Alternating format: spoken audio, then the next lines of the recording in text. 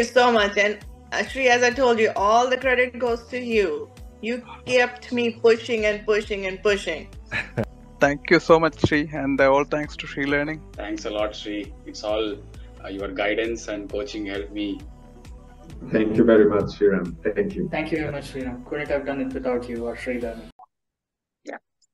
Hey, hello everyone. This is Sri from ShriLearning. We want to talk about PMP success story. I have Ayushi Jain with me who cleared PMP June 1st. Am I right, Ayushi?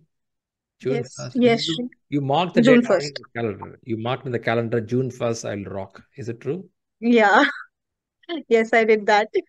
Uh, but you know, the once marked it, the pressure starts adding. Is this also true? You have to be Yes, but my intention was to be under some pressure so that I can give it finally. I rescheduled it for a couple of times, but then I thought that, okay, this time I'm not going to reschedule it. This time, whatever happens, I'll take it. do or die, I'll jump there. Yeah, absolutely. I was like, I can't handle this pressure anymore. God. And anyways, I thought that, okay, even if I would have given it two months earlier, I would have done it the same way. So I thought, okay, let's do it. Yeah, yeah. Uh, First, congratulations, Ayushi. Um, that's a great achievement from her. And uh, this is a beautiful certificate. She got it. Huh? I- I'm sure you're Yeah. excited the day you got it, isn't it? You feel, ah, thankfully, it's all done now. Yeah, I mean, I was very impatient. I was checking my mails like every other hour, whenever possible, because I gave it on a Saturday and I thought that, you know, it'll it might take a couple of business days. Oh, So yeah. it came on Monday. So for two days, I continuously kept on checking my email and portal. Oh, two days is a long waiting time, isn't it? Yeah, but it was all worth it. Worth it, huh? Worth it. Nice to know. So to mention, Ayushi, you are uh, with the ShriLearning, you did a scale agile training, and then you did a PMI ACP training, then you came for the Yeah. PMP. Now there is a continuous learning journey is happening. Is it something your uh, lifestyle like this? You keep learning something always? Yeah, I mean, I like to read about new things and I like to improve depending upon whatever is going on in my office. So that's how I think, you know, one should keep on learning something or the other. Mm, That's that's good. That's good. You know, in uh, if you go with the scaled agile, the questions will not be uh, these many numbers, right? It will be 45 questions you would have done. When you come for PMI ACP, around uh, 120 questions. 120. Yeah. Yeah. When you come to PMP, it's 180 questions. I think it you also incrementally developed your uh, knowledge. Yeah, I think Okay. now I think so. Now you think so, right? So, uh, you Right. think uh, you think the PMP is a need in the market? Is it something which you thought which can help you?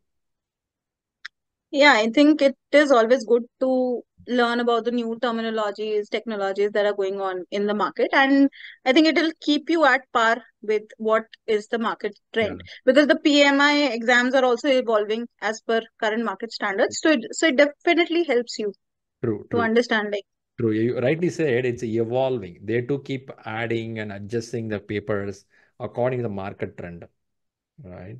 And in fact, you did a PMI ACP. I think ACP is a more tougher exam. They go detailed on agile.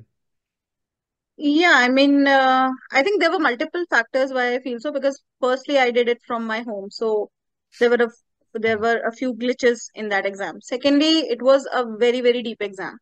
I thought that you know it's going too deep into agile. So, and yes, definitely it was my first exam of PMI, so maybe that's why also I felt it. was little you tougher. came to PMP exam. I think you choose center-based exam.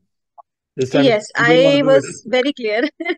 Yeah, in fact, uh, when I was giving ACP, I completed it in two hours. It was a three hour long exam. I Mm. completed it in two hours, but then still, I didn't want that kind of pressure, so I scheduled this one at the center. I said, no, you know, no risk. I don't want to take any risk. Also, you understood the PMI model or a flavor, how the exam will look like. That also would have helped you there. Yeah, that, that's a point. Now, one question for the viewers watching here, what kind of material you read? Because you are good in Agile already. And uh, when you want to start reading for PMP, what kind of materials helped you? I read, uh, I mean, I was already PMI ACP, so uh, I think I was pretty good with the agile part, and I am working in an agile environment since long. So that was, I think, my advantage. Other than that, I read Rita 10 and Agile Practice Guide. So I did my training last year. So at that time, we were following Rita 10 only. So I read that and I read Agile Practice Guide. I think those two were sufficient. Right. And apart from that, uh, I read the glossary part, uh, Hmm. the glossaries that you suggested. Hmm. So I think that is more than enough for your reading point of view, Hmm. from the reading perspective. And I don't believe in reading too much. That is one thing. I, Hmm. I don't, I, I I mean, I don't concentrate on too many materials. I think you should go over the same material over and over just Yeah. to see where you are and how much do you remember. Yeah, yeah, that's right. I know you're a good book reading person, right? So for you, Right. reading this kind of book is something like a uh, sit in the snacks time you read it. No, no, no, no, no. I can't read these, these kind of books. I can read only novels and all. Shrey, I'm done with the PMBOK Seven Man. When you did uh, coffee time, I did it. Oh wow, really? No, no, no, nothing like that. Because this is PMI material is very dry, if you Yeah, ask me. So you'll you won't uh, and I think it's definitely better to read smaller portions at a time. Don't try to cover the entire chapter all at once. Hmm. Read smaller parts, come back to it, revise, and then uh, That's a valuable ahead. suggestion who listen to this. Uh, if if they say stakeholder management or risk management, don't try to sit and gulp all the content at a shot. Take a topic in risk Right, management, maybe how the risk register is getting prepared. Read that portion only, or read how a risk response has been planned. I think a piece by piece, if you read, chances are you may go better, right? That could be right, right. Okay, that's a good suggestion. Good suggestion. Now, uh, even though we read it, um, uh, Ayushi, when it comes to question solving, many people are still struggling. Um, they say that scores are not going well. Uh, I'm keep trying exams. First time I get 60%, next time I get 61 or 60. I'm not getting 70%. I could not see a leap of jump just like that. I'm in the same place. Uh, have you faced it, or do you have some thoughts how how these people can improve the scores? Yeah, I mean, I was one person. I uh, did not give any exam without reading any topic. So what I used to do, I used to read couple of topics, Mhm. give an exam, and then whatever, and then when I used to do a really thorough analysis of whatever questions I'm doing, whether those are 10 questions, whether those are 60 questions. So when I'm, I, once I give the mock, I'll analyze it and I'll try to figure out what topics are my weak points. So, Mm. for example, if I understand that, okay, risk management is something that I really need to work on. So, I used to note those down, and maybe if there is any new terminology that I encon encounter in my mock, I will note that down as well. Mm, mm, One, uh, and once I'm done with the analysis, I'll go back to that topic, read it, mm, and read a few other topics as well, and then come back again to another mock. So, I mm. think that that way, gradually your scores will increase. And having said that, your scores will not increase always. That is also true. I mean, once I scored an 87%, and in another, and, and I, I think I scored 70 or 75%. So it will always be random. So you don't have to worry, but then you have to set a benchmark that, okay, Okay. these many questions, at least I have to go correctly. I think that's a good point, right? You don't expect always keep going high. Right. I mean, it, it won't be an increasing graph. It will be uh, distorted always. Yeah, So yeah, I understand. You know what? Somebody watching this video on YouTube now, they may drag and listen to your score again. Did you say 87%? Yeah, I mean, once I got in one of the 60 question marks, and I was so surprised that I I continuously kept on scare, staring at the screen. I was like, is it true? And then I came back to reality when I scored, I think 70 or 72% in the next mock. So I was like, okay, you're not there yet. But still, that's high, you know. There are people struggling to that's pretty high. 65%. It's a good high score. Uh, I believe your agile knowledge or your book reading, uh, I, I believe sometimes the question reading ability is also important, isn't it? Yes, that is very, very important. And uh, uh, what I felt uh, during a lot of my mocks was that I read the question wrong. For example, I missed uh, Mm. some keyword like except. You Uh, know, what are the good choices? Except. So you have to choose one. And I I didn't realize that I choose the best option. So you have to re be really, I mm. Mean, you have to concentrate a lot on the question and then go with the answers. Yeah, yeah, makes sense, makes sense. Yeah, I know. When you are answering 180 questions, sometime after 100th question, you get tired.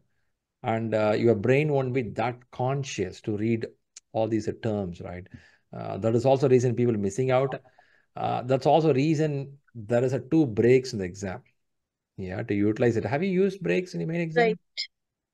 Yeah, I used both my breaks, and even when I was practicing the mocks, the full mocks, Mm, I used to uh, I used to do them like 60 questions and then take a 10 minute full break. mm, And you know, like how we would do at the center, we would go go out, we would drink something, eat something, then come back. So I used to take it like 60 questions at a time.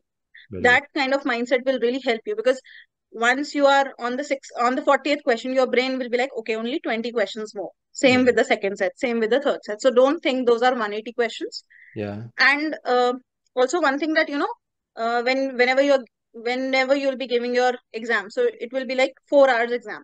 So you have Mm, to practice that habit of sitting. If mm, you don't have the habit of sitting, then it will be very problematic. understood. Yeah. So anyhow, you have to practice that. True, true, true. Sitting four hours is the toughest job, right? People get tired with that. Yeah, right. Now, uh, talking about this, now you went to center based exam. I believe you did in uh, Delhi. Yes, I did it in Noida. Noida, you did it. So the Yeah. facilities would have been that um, they have to verify all your ID cards and they allow in. Um, how is the time management? Because at 230 minutes, was it sufficient for you when you write the main exam? Yeah, it was pretty sufficient for me. Even I had 20 minutes left when I submitted for Oh, my exam. oh, okay. There you go.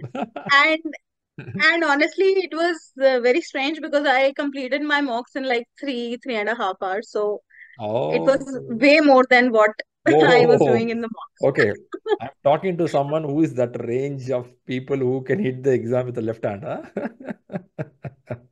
No, actually, when you're giving your mocks, you are little free. But Yeah, when you're giving the main exam, you have to be very, very careful. sure. So yeah. I deliberately took more time in my main exam. Like Okay. uh, for the first section, I took 80 minutes. Mm, That was very, very deliberate because I knew that, you know, this mm, this section will set my pace. yes. Then it was almost 65, 65 minutes. So time management was good. I took my breaks, Mm, both the breaks. I went out, drank water and whatever I had. mm, And even um, I think for the second break, I I must have taken at least 12 minutes mm. because my invigilator was looking at me like, why she, why isn't she coming back? So, you know, she was telling me, come fast, come fast. So, but I was very composed. I thought that, okay, hardly two minutes. I have a lot of time left. Wow, wow, So wow. Oh, wow. That, that that, was, that's a good one, right? I've seen people uh, scared of time management because the 230 minutes is not sufficient for them because they lose a lot of time in the first slot itself. See, first 60 questions, some people take 110 minutes. So if you take 100 plus minutes in the first slot, you start adding the pressure. That's no. I think you have to do that time management. Like you, Mm, I was pretty sure that I will not cross the 90 minutes mark for mm, the first section, no matter how I have to manage. So, so I was like, okay, let's do 45 questions in, I mean, 30 questions in these many minutes. Okay. So that way you have you'll have to break your time Ah, into 20, 20, 20, something like that. That strategy you have to develop it yourself. Yeah, yeah, that's that's a good So point. Also, in the center, yeah, they're giving a plastic sheet or paper to write down. One of the advice here is you have to mark down because in the clock it will be 230 minutes, start deducting down 229, 228. So you should put a number here. When it comes to 150 minutes in the clock, by this time I should have been done with my 60 questions. So it's an indication when I see 150 or 160 or 140 somewhere there, keep indication, I have to stop it. Because when you are in the exam hall, I don't think your brain thinks so much on the time part. You you you involve in a question. You keep reading the question again and again. Yeah, that's also right. that's also there. Yeah, we can do that. Yeah, We that's a can good do that definitely. that's a good point. Super, Ayushi. That's a great effort from you. Now, if you want to give some thoughts to the people who listen in this video, um, the, there are some people say that, you know what, I started my class a month before, one year back, but a lot of break happened. I feel I lost my rhythm. Um, how to get back? So if you have any points to how to get back, let know. I did my training last year, one and a half years back. Hmm. So I can be a perfect example of how to come back. So, uh, I mean, I did my training last year in January, January, February, March. I think we completed it. So after that, I started listening to the recordings again and again, but I was never very consistent. So, but what I used to do, like sometimes I used to pick up my Rita book and read a chapter. Hmm. So this way I completed my entire Rita and it took me a lot of time. But I, I mean, I'm not suggesting that, but then it is a good way to keep up with your preparation if you can't be very, very consistent for like two months. So I prepared it very, very slow. I used to read sometimes, sometimes not. And uh, whenever I used to start uh, thinking that, okay, this month I will restart my preparation, I always used to start with your recording. So I must have Hmm. seen and heard those recordings, each single recording at least thrice. Oh, So, yeah, that was very, very helpful. Yeah, I mean, whenever I'm traveling, whenever I'm going, whenever I'm sitting idle, maybe sometimes you won't have uh, Uh, you know you won't have the mindset of sitting and reading yeah, a book. So then yeah. you can definitely read uh, listen to your recordings. Then what i did is uh, when i was like pretty sure in february that now i have to anyhow give the exam. Hmm. so by that time i had read the rita book once Okay. so and agile practice guide i had read it during my acp times but yeah, but yes i thought it in february that let's restart it and in a very very proper manner Fantastic. so I think I got uh, in touch with you and I asked that, okay, I have read Rita 10 and now we are doing with Rita 11. So you told me that, no, it's fine. You can go Ah, ahead with yeah. Rita 10. That's that's right. That's Yeah. right. So, right. so what I started doing, uh, I thought that, you know, I'll, I'll, you know, prepare in very, uh, in a very structured way. So Hmm. I thought that let's read few couple of chapters and then I used to give a 60 questions mock. So Okay. every week, I think in February, I might have given at least four, five, 60 questions mock. So this way I started preparing. Same I did in March and in April, uh, my, you know, my concentration reduced a little bit. But, Hmm. but yes, I was in touch with the subject. So that was one good thing.